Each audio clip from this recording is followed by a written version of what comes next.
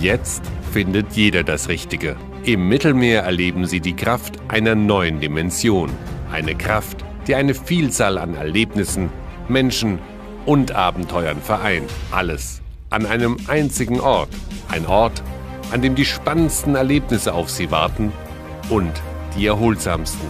Wo sich in prächtigsten Räumen die lauschigsten Fleckchen verbergen. Wo das Klassische auf die unglaublichsten Innovationen trifft. Eine Welt, in der alles möglich ist.